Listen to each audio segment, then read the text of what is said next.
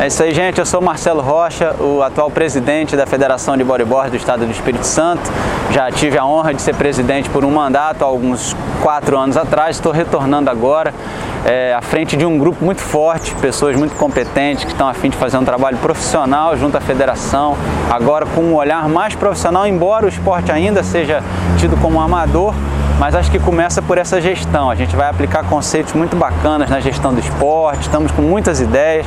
E o mais importante, não é mais uma modalidade de uma pessoa só ou de duas pessoas, um grupo forte de trabalho, como tem que ser, que ninguém faz nada sozinho. E a gente tem grandes atletas dentro da água e precisa ter também uma gestão que seja compatível com toda essa qualidade, né? Vide Neymar Carvalho, Lucas Nogueira, Magno Oliveira e tantos outros nomes que a gente poderia citar, né?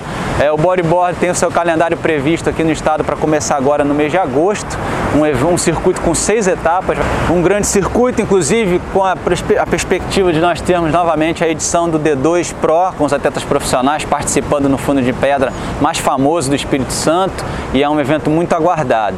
E também a gente tem aí uma condição muito bacana que estamos assumindo a vice-presidência da Confederação Nacional de Bodyboard, isso para o Espírito Santo.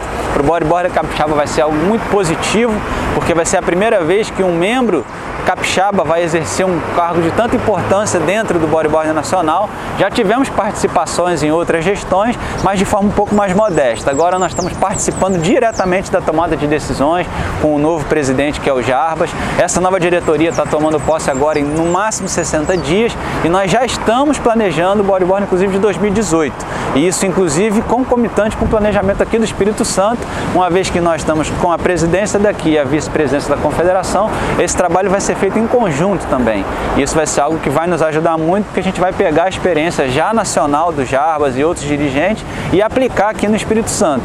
Então, assim, quero dizer para vocês que eu estou muito feliz com um grupo muito forte aqui no Espírito Santo que vai realmente revolucionar a gestão do nosso esporte e vocês podem ter certeza. Só para ter uma ideia, esse ano, além das competições, vamos ter seminários, vamos ter as festas de premiação dos melhores no final do ano e outras novidades como o projeto Bodyboard Mais, que a gente está formando parceria com os empresários tanto da modalidade, as marcas de surfwear, como outras empresas que já estão enxergando no bodyboard uma nova proposta é, de divulgação do seu nome, de veiculação do seu nome. Então confiem na gente, contamos com o apoio de vocês também. Valeu, galera. Um bom dia para todos.